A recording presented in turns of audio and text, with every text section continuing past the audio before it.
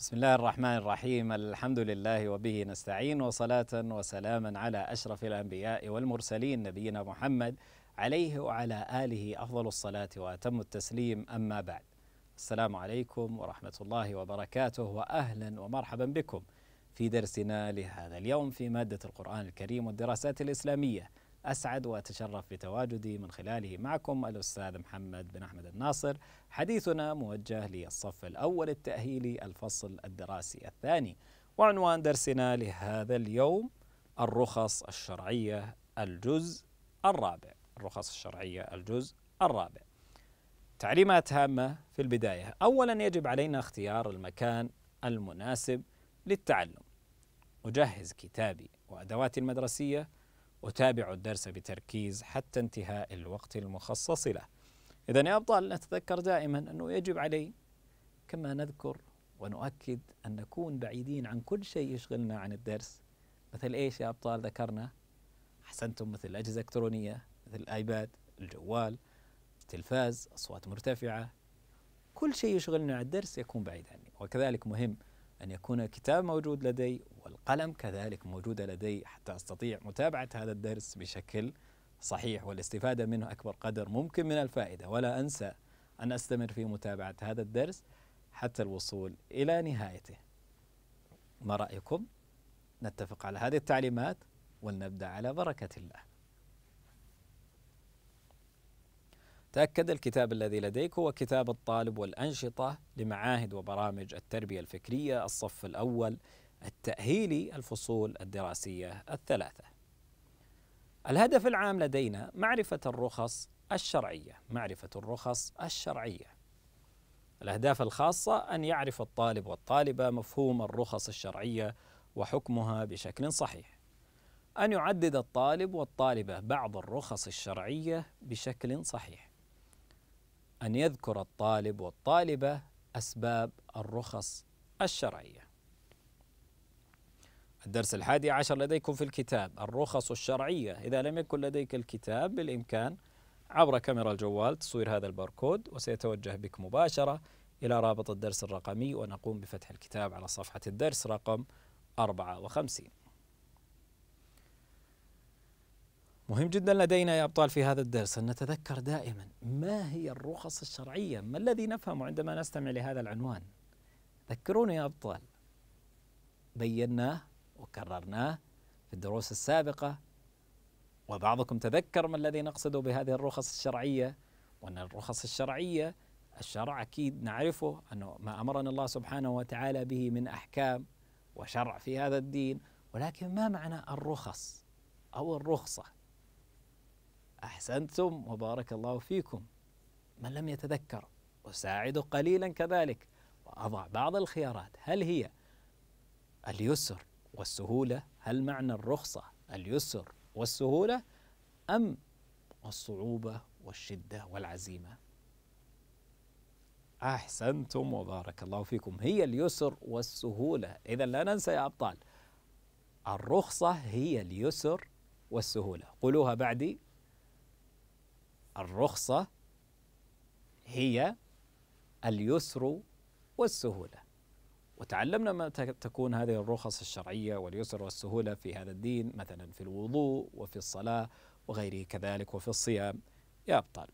إذا هذا النشاط لدينا. نتذكر لدينا هذا النشاط ونقوم بحل هذا النشاط في الكتاب في الصفحة رقم 56 السؤال الأول يجوز المسح على الخفين أو الجوربين يوما في الحضر في الحضر وثلاثة أيام في السفر. قمنا بذكرها والإجابة عليها في درسنا السابق يا أبطال. ما رأيكم؟ هل هذه العبارة صحيحة أو خاطئة؟ أريد منكم أن تذكروها من خلال ما تعلمنا في الدرس السابق. هل هذه العبارة صحيحة أم خاطئة؟ أني عندما أكون مثلا خالد من أهل مدينة الرياض وأراد المسح على الخفين وهي الشراب مثلا أو الجوارب هي مقاربة كذلك للشراب أو التي هي الجوربين عندما يكون في الرياض فإنه يمسح عليها لمدة يوم كامل 24 ساعة. عندما يكون مسافر فإنها تكون ثلاثة ثلاثة أيام. بمعنى لو كان هو في الرياض وقام في المسح على هذه الجوربين على على الشراب اللي يلبس. عندنا هذا خالد لبس الشراب يوم الخميس الساعة ثلاث. يوم الخميس الساعة ثلاث قام بلبس هذا الشراب. فإنه يجوز له بدل أن يغسل رجليه أن يمسح على هذين الخفين حتى يوم الجمعة الساعة الثلاث بالضبط. يجب عليه بعد ذلك أن يقوم بخلع هذه الجوربين أو الشراب وغسل الرجلين بعد ذلك. والأهم أننا نتذكر أنه في يوما في الحضر وثلاثة أيام في السفر إذا هذه العبارة صحيحة. بعد ذلك تعلمنا المقصد بقصر الصلاة الرباعية الظهر والعصر والعشاء فيصليها ثلاث ركعات. هذه عبارة خاطئة. ثالثا يجب على المسافر قضاء الأيام التي أفطرها في سفره. هذه العبارة صحيحة. العبارة الرابعة لدينا يصح التيمم في حال وجود الماء. هل يصح التيمم إذا لم يجد الماء؟ هل يصح التيمم إذا لم إذا كان يوجد لديه الماء؟ اقرأوا العبارة مرة أخرى. التيمم في حال وجود الماء هل يصح أو لا يصح؟ التيمم من الرخص الشرعية واليسر والسهولة حان وقت صلاة العصر عند خالد. وعندما حان وقت الصلاة قال والله الحين أنا آه، آه، ما ودي أتوضأ. بدل ما أتوضأ من الرخص الشرعية واليسر والسهولة أتيمم. هل هذا الفعل صحيح؟ لا بالتأكيد خاطئ. وذكرنا يا أبطال ما هو التيمم. وذكرنا هل أتيمم. إذا أردت التيمم ما رأيكم؟ نتيمم بالمناديل أو بالأشجار أو بالتراب. كيف يكون التيمم؟ بمناديل أو بالتراب أو بالأشجار. أحسنتم دائما نتيمم. التيمم كما تعلمنا يا أبطال أن نتيمم بالتراب. أتيمم بالتراب هو الطريقة الصحيحة للتيمم. ليس الشجر وليس المناديل كذلك. التيمم دائما يكون بالتراب. الطاهر وكما تعلمنا وأشرنا وبينا كيف نقوم بالوضوء من خلال بالتيمم من خلال ضرب الكفين على التراب ثم مسح الوجه وكذلك الكفين. اذا هذه العبارة هذه العبارة خاطئة. خامسا الجمع هو أن يجمع الظهر مع العصر والمغرب مع العشاء. جمع الصلوات يا أبطال أن يجمع الظهر مع العصر. والمغرب مع العشاء. هذه العبارة صحيحة أم خاطئة؟ الجمع دائما عندما نريد الجمع في السفر عندما يكون مثلا لنستمر على خالد عندما يكون مسافرا صلى الظهر في مدينته وهو في طريق السفر حان وقت صلاة العصر. عندما حان وقت صلاة العصر فهو يعرف وتعلم أنه من الرخص الشرعية جمع الصلاة. فهل يجمع صلاة العصر مع المغرب؟ هل يجوز أن يجمع صلاة العصر مع مع المغرب خالد؟